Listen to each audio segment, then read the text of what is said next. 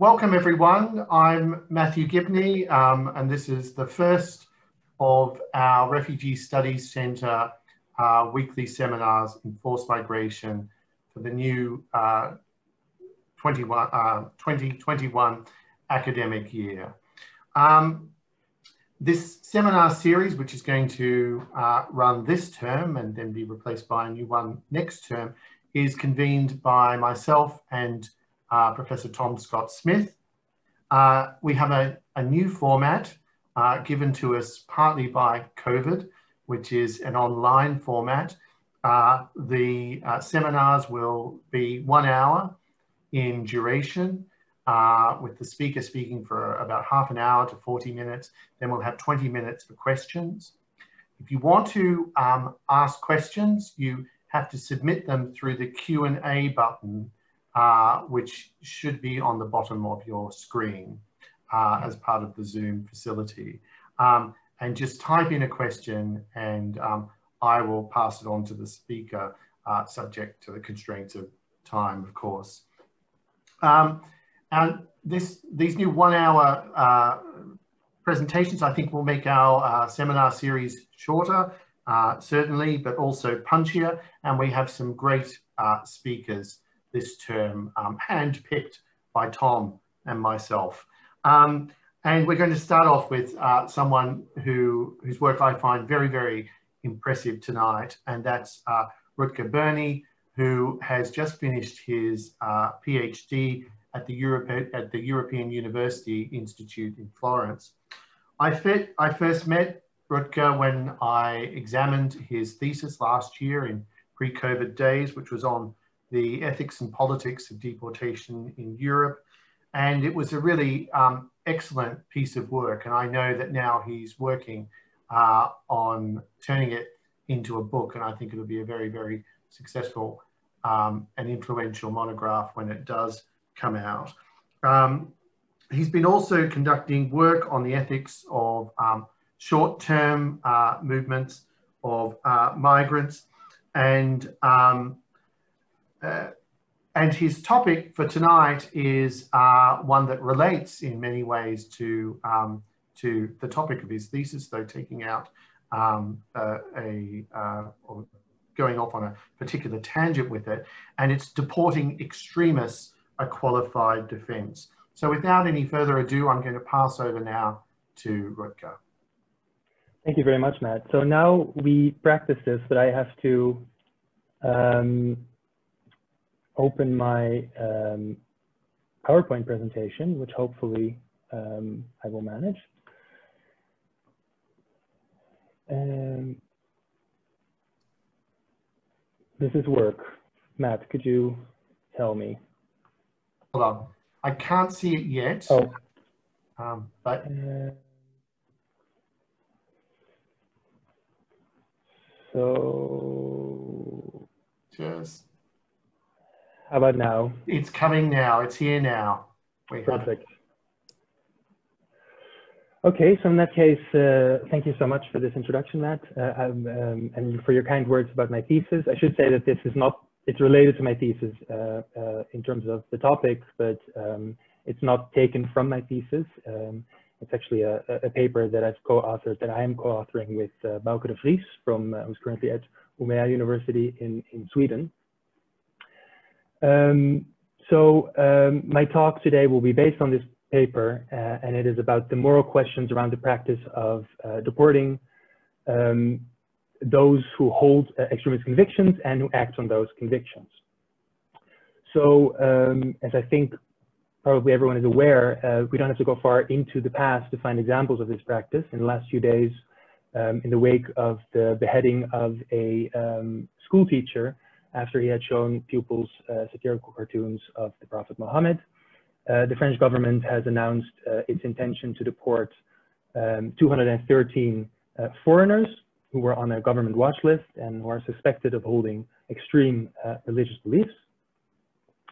Uh, and of course, many other Western democracies have deported extremist Muslims and the so-called hate imams.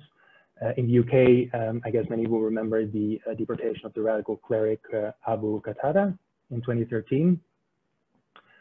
Um, but it's not just extremist Muslims. Far-right extremists have also been uh, uh, regularly targeted by such deportations, including earlier this month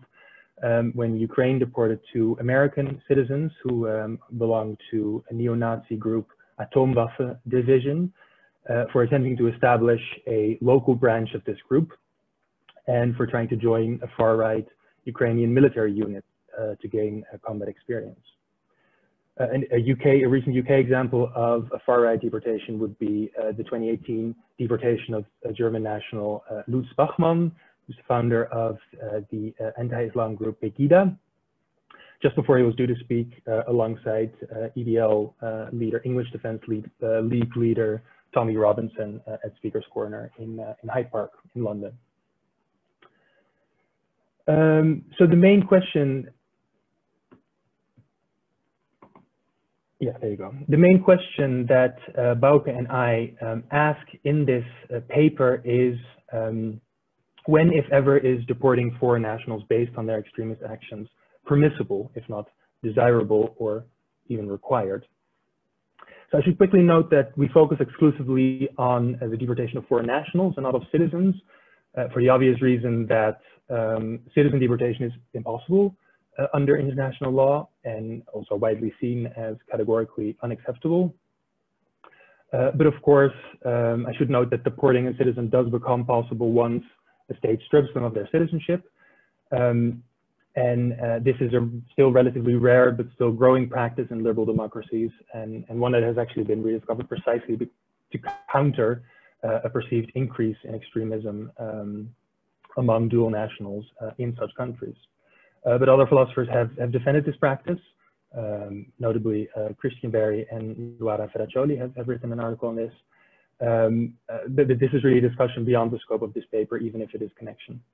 even, even, even if it is connected. Um, so the paper is structured in three parts, and my talk will um, accordingly be structured in, in, in, those three parts. So I'll begin by defining um, what we understand to be extremist acts. Uh, secondly, I will uh, make the case for deporting foreign extremists uh, by discussing the four uh, beneficial functions that they may serve. Um, and lastly, I'll discuss three objections to extremist deportations and, and give our response to these. So starting with the, with the, with the definition, um, to define extremist acts, it is first necessary to define extremist beliefs. Um, and we understand such beliefs to be convictions that are antithetical to fundamental liberal democratic values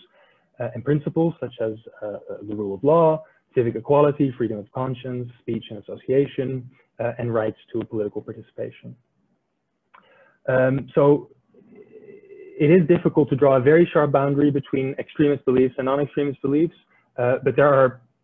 uh, clearly beliefs that fall unequivocally on the extremist side on which we focus. Um, and examples of this include beliefs that secular governments are by definition illegitimate and should be overthrown in favor of theocratic regimes, uh, belief, beliefs that women or members of specific ethnic minorities or religious minorities um, are naturally uh, inferior to others and should be accorded a lesser legal status, uh, and beliefs that it is morally um, permissible to use violence against uh, sexual minorities on grounds of their sexual orientation or, or gender identity.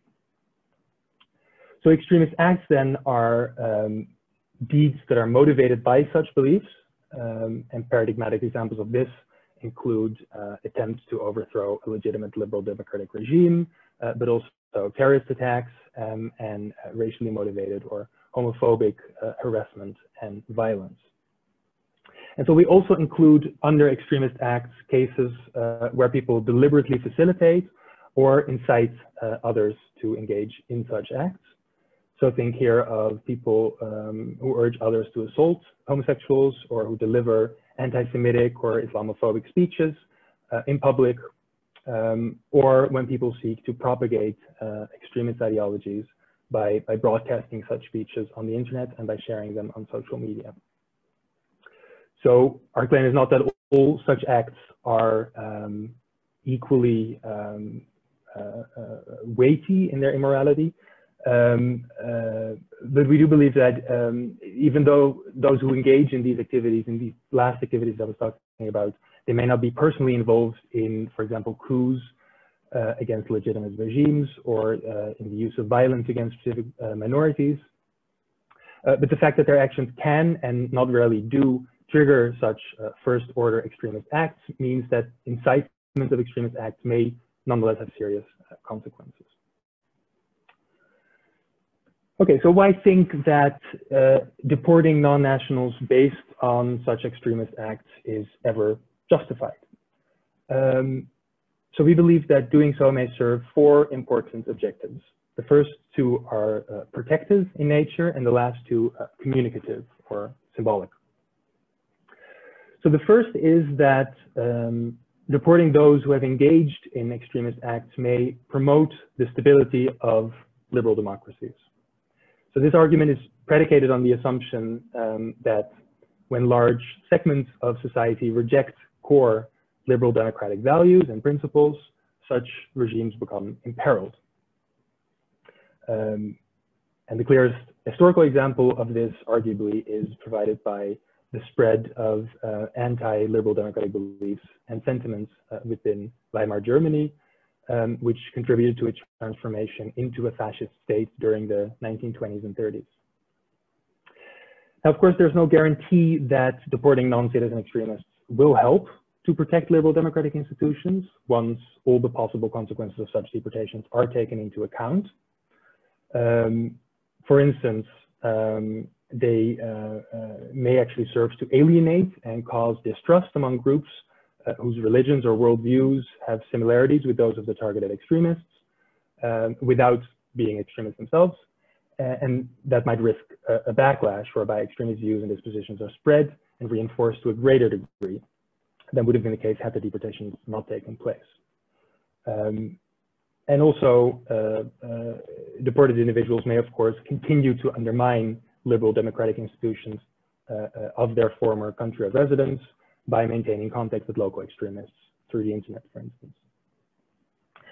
Um, but even in cases where deporting foreign extremists has the, uh, uh, uh this effect, these effects, um, the positive effect that deporting these individuals has on the stability of a liberal democratic order may well outweigh them, or so we argue. Uh, especially when the deported have a significant political following or influence or special organizational, technical, or other types of skills, um, and uh, when liberal democracies are relatively fragile because of political polarization or a lack of long-standing liberal democratic traditions. Um, deportations can do a lot to protect these institutions, given that being physically present in a country generally renders it easier for extremists to engage in subversive activities uh, because of the possibility of face-to-face -face, uh, interaction. And to go back to the Ukrainian, Ukrainian example here, um, there currently seems to be a genuine risk that Ukraine is fast becoming a fertile uh, training ground for white supremacist extremists from across the Western world. Um, and so deporting foreign extremists may well be a matter of um, uh, of survival uh, for the for the Ukrainian state. Um, but in many countries, this is not likely to be the case. Um, but we argue that even when foreign extremists do not have the wherewithal to threaten the stability of liberal of the liberal democratic order as a whole, deporting them might still serve um, a valuable function, namely that of helping to protect the basic rights and liberties of citizens and, and remaining non-citizen residents. Because those participating in or facilitating or inciting terrorist attacks and extremist violence often um, uh, uh, they, do, they, often do not belong to groups with a significant enough political influence to pose an existential threat to local liberal democratic institutions, but nonetheless, um, uh, they, by engaging in these activities, they clearly violate people's basic rights and liberties, including their right to life, uh, uh, bodily integrity, security, freedom of association, freedom of speech, and by deporting this group, uh, the risk that they will engage in new and potentially more serious extremist acts within their current country of residence will be reduced, um, especially when they are deported to a country from which uh, it is difficult to visit uh, their former country of residence. So another more indirect way in which not deporting foreign extremists uh, might undermine the enjoyment of uh, basic rights and liberties by citizens and uh, remaining foreign residents is that Admitting to do so might in some circumstances be interpreted as um, evidence that the state endorses uh, um, the extremist creeds of the non-deported uh, or important aspects um, thereof. And that this will in turn embolden uh, them and other individuals with the same or comparable ideologies to commit more and possibly more serious extremist acts. So even if extremist deportations do not demonstrably come with either of these protective uh, benefits, um, we argue that they often still serve uh, a valuable uh, pedagogical function. So when states deport foreign extremists, they uh, signal to their citizens and the remaining non-citizen residents uh, what kind of behavior uh, is expected within a liberal democracy, or rather what kinds of behavior people ought to stay clear from. Um, now, of course, there are other ways of sending these messages, for instance, by introducing and enforcing strict anti-hate speech laws and um, through the public denouncement of extremist ideologies by state officials. Uh, but deportations also can be a powerful vehicle for this. For example, Bachmann's uh, deportation from the UK uh, was interpreted as such by a spokesperson for uh, Hope Not Hate, the anti-racism organization, uh, who compared it to earlier deportations of Islam, Islamist hate speechers, uh, preachers, um, and avowing that the Home Office's decision to deport showed that, and I quote, these extremists are two sides of the same coin and they need each other, which we, the ordinary Britons, do not. So I should note that in order for deportations of foreign extremists to fulfill this pedagogical function, states, of course, need to let their citizens and residents know that they take place. Um, when extremists are deported in, in secrecy, as sometimes happens, such expulsions do not help governments to communicate their willingness to stand up for liberal democratic values and principles, even if they might still serve uh, the protective functions uh, that I started with. And lastly, um, apart from educating citizens and residents about the importance of respecting fundamental uh, liberal democratic values um, and principles, um, extremist deportations can also help uh, reassure those uh, whose basic rights and liberties and equal standing as a citizen or resident um, are being challenged by extremists, uh, uh, that the state is committed to protecting their freedom and equality. Um, so for instance, deporting those who have committed hate crimes signals the state's willingness to stand up for the freedom and equality of marginalized communities in the face of extremist hatreds directed towards them, whether it be Islamophobia, anti-Semitism, or homophobia. So offering such assurances, um, we think is important because, first, because it provides mental comfort to those who are being targeted by extremists, but also because uh, uh, lacking such assurances um, undermines people's ability to take advantage of their rights, as they will be in considerable uncertainty over whether they can exercise them effectively or safely. As with the uh, civic education uh, objective, there are, of course, other ways than deporting non-nationals based on their extremist acts that help states to achieve the assurances, the reassurances objective um, such as imposing harsh punishments, punishments on those who incite hate crimes or engage in such, such crimes themselves. But still, in light of the symbolic significance that extremist deportations have for many, um, we, we, argue that these, these exclusions are a very effective tool uh, for providing such assurances as well. So despite these potential benefits of deporting extremists, we can also identify serious uh, risks associated with the practice. And um, in the remainder of my talk, I, uh, I will discuss these uh, by addressing um, specifically three objections to this practice. Um, and while we, uh, we grant that each of these objections has some force, um, we end up concluding that uh, they fail to establish that extremist deportations of foreign resident of foreigners um, are categorically unjustified. And so we try to show how this practice can and ought to be constrained uh, uh, in order to withstand uh, the objections. So the first objection is that uh, the power to deport foreign nationals when and because they've engaged in extremist act is vulnerable to abuse, to political abuse. And so the most uh, blatant form of abuse of this power is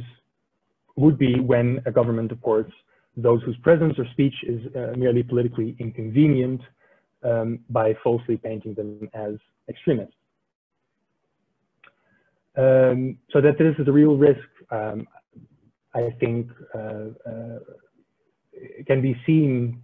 from many examples, but maybe the best known historical example is um, uh, the Fierce campaign in the early 20th century in the US, uh, in which the US government sought to identify and remove uh, quote unquote radical foreigners, uh, which uh, ended up with the expulsion of a wide range of politically active um, aliens, including not only communists and anarchists, but also labor organizers, Chinese, anti-imperialists, and foreign-born black uh, activists. So some scholars have identified echoes in uh, uh, of, of, this kind of abuse in the contemporary context, including in the um, summary expulsion of a large number of Muslim residents from the US in the immediate wake of the 9-11 terrorist attacks, um, as well as in those deportations of Islamic preachers from European countries that are often prompted by media stories that are based on secret intelligence that is not made public and um, uh, possibly on guilt by association. Um, so it does seem that um, the potential of abuse in case of deportation power is especially acute um, as uh, legal provisions uh, allowing for the deportation of extremists tend to have uh, vague and open-ended formulations uh, and thereby leave an unusual amount of discretion um, to the executive branch of government. So the legal standard that is used in the UK is a very good example of this um, because uh, foreign nationals can be deported from the UK whenever their presence is considered uh, not conducive to the public good by the Home Secretary, um, as many of you will, will obviously know. So it is, of course, very difficult, um, partly also due to the opacity around this practice, uh, to estimate uh, exactly how pervasive this type of blatant abuse where people are deported who should not be, uh, um,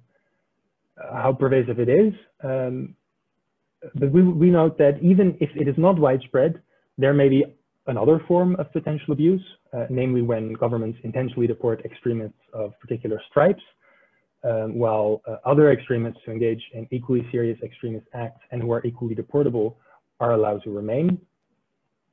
And in this situation, of course, the individual deportations are not necessarily illegitimate, as those targeted have engaged in properly extremist acts, uh, but still the, the discriminatory um, execution um, in this case renders the broader policy uh, illegitimate.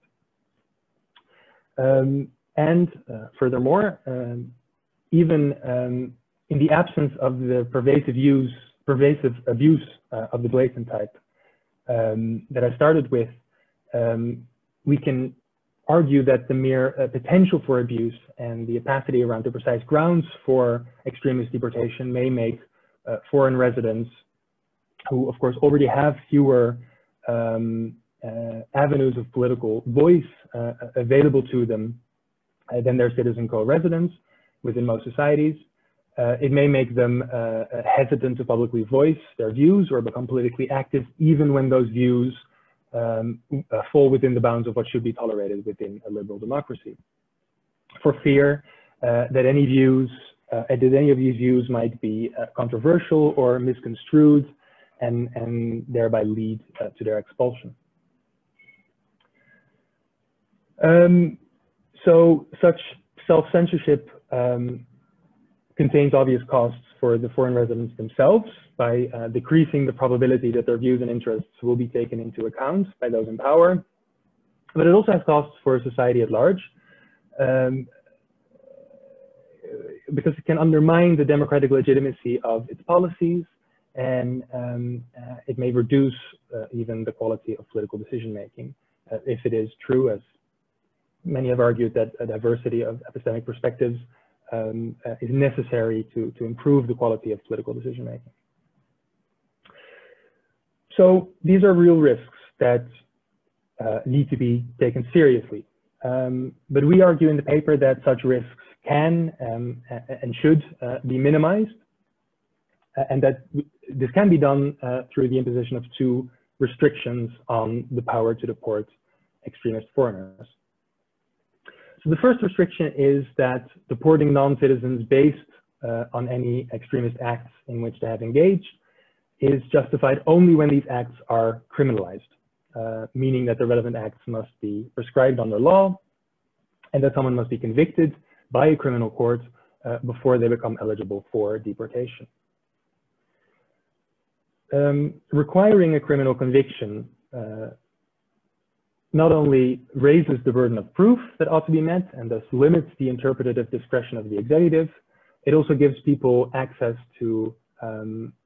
the more robust legal rights that the criminal justice system guarantees in order to minimize abuse of power, such as the right to legal counsel and a right to appeal.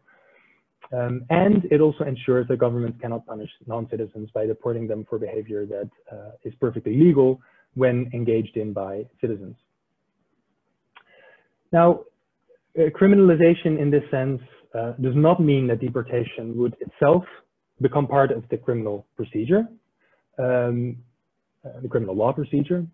um, because the deportation that follows from a court conviction is still issued uh, not by the judicial branch, but by uh, the executive branch of government, uh, and is not part of the court's sentence for the offense. Um, and because a criminal conviction per se is, of course, no proof of extremism, deporting authorities must still make a convincing case that the crime committed is properly extremist. And therefore, our second proposed restriction is therefore that um, the criminal offenses that can lead to deportation on grounds of extremism um, uh, must be spelled out in a publicly available and exhaustive list of deportable offenses. So precisely what type of offenses will be on this list might vary between jurisdictions, um, but governments must be able to plausibly claim that the list crimes are extremist in the sense uh, I talked about earlier. So codifying what kinds of extremist um, offenses are uh, uh, one can be deported for uh, counters the risk that uh, the risks around abuse of use of deportation power, not only because it further limits the um, instances in which authorities can decide to deport, but also because the publicity of the procedure allows members of society to hold authorities accountable when they observe a discriminatory application of extremist deportation, uh, and because it reassures non-citizen residents uh, uh, who are hesitant to speak up or become politically active uh, by explicitly defining the boundaries of um, acceptable speech and behavior. So the se second um, objection maintains that being deported is very costly for the deported, as well as for any of their loved ones who uh, remain within the society from which these people are deported, um, and therefore an inappropriate sanction even for serious and criminalized offenses. Now, these costs obviously are greatest when uh, people are deported to illiberal or unstable um, countries where they might face um, severe destitution, persecution, torture, or even death. Um, but also when people are deported to countries where their basic rights are uh, not under threat, uh, they still may face heavy burdens as deporting someone from their place of residence um, uh, indefinitely severs their connections to people they share their life, they may share their life with there, which is not only burdensome for them, but also, but also for those people, um, and to the life projects that they were pursuing there. Um, and it's interesting here to, to, to uh, contrast expulsion to, um, uh, to incarceration, uh, uh, because expulsion is of course not aimed at rehabilitation. Um, and we see this especially uh, in the case of deportations on the grounds of extremism, which are generally paired with lengthy reentry bans and in some cases even life bans. So again, um, my co-author and I agree that there are serious, that these are serious considerations to take into account, but we disagree that they invariably render deportation uh, illegitimate. Rather, we propose a proper uh, proportionality test uh, uh, needs to take place before such deportations can be ordered. Um, uh, uh, that would need to weigh the costs of any deportation to the would-be deportee, deportee and their loved ones against the threat they pose to liberal democratic institutions and the enjoyment of basic rights and liberties. and when these costs are proportional to the severity of the act, um, we believe deportation is permissible. So quickly, it should be clear that a substantial risk of death or torture or persecution in the destination country is a disproportionate cost that can never be imposed, even on the most serious offenders. Um, but I would note that uh, even if it is not always respected in practice, the principle of non-refoulement is well established in international law and, and, and, and already forbids deportations in such cases. Um, more uh,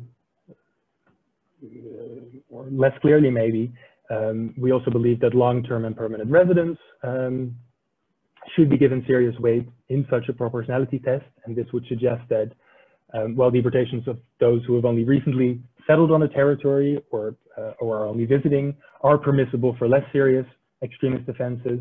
uh, once residents pass a threshold at which they can be said to be a permanent long-term resident, say around uh, five years, deportation um, would only be permissible for the most serious of extremist offenses, namely when they pose a serious and imminent threat to their society of residence. Uh, and even with this threshold in place, of course, some shorter term residents who have strong family ties, especially parents of minor children, uh, we believe should enjoy fairly strong protections. Um, so a third objection maintains that deporting foreign residents who've committed extremist offenses is uh, unfair um, to their countries of citizenship, uh, which are required under international law to uh, accept them back. So in this view, transferring residents that cause problems in one society to another society, uh, where they uh, regularly cause similar, if not worse problems, um, amounts to a shirking of the deporting state's responsibility to rehabilitate those who committed offenses uh, on its territory. Again, uh, we believe that this is an objection that has force in certain circumstances, uh, but only when the deporting state actually has a greater responsibility for the extremist individual in question than the um, than the, the, the the state of citizenship. So um, this is obviously not the case um, when um, countries of citizenship have actively contributed to their expatriate citizens' extremist acts abroad or simply negligently fail to prevent them, for example, by withholding intelligence about a planned terrorist attack. Um, and uh, we argue that in such cases, deportation is not only uh, not unfair towards those countries, but arguably an appropriate way of holding the receiving states accountable for its moral failure, failures. Uh, and the same is true, we believe, when such states have contributed to the radicalization of their citizens abroad or negligently failed to prevent them from adopting extremist views, for example, by allowing extremist preachers uh, to propagate their extremist views in public in, in, in those countries. Um, and it, it's maybe good to mention that even in such cases where expat citizens were radicalized in their country of residence rather than their country of citizenship, um, their radicalization may in some cases still have been influenced heavily by the agents of the country, agents of the country of citizenship. But of course, um, the opposite also holds. Uh, when the country of current residence can be said to be responsible for the radicaliza radicalization of a given resident through complicity or negligence, this would make it unfair, indeed, to send the individual back to her country of citizenship. Um, and we think that when the extremists spent a significant part of their childhood in the country of residence,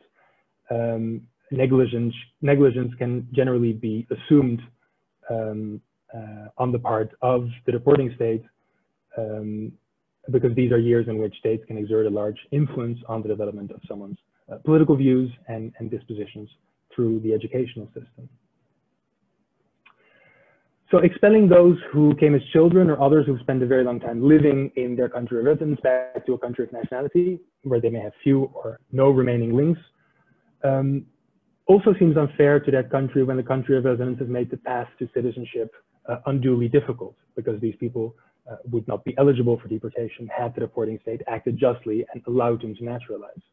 So for instance, Italy um, has used deportation of extremists on a much larger scale than many other European countries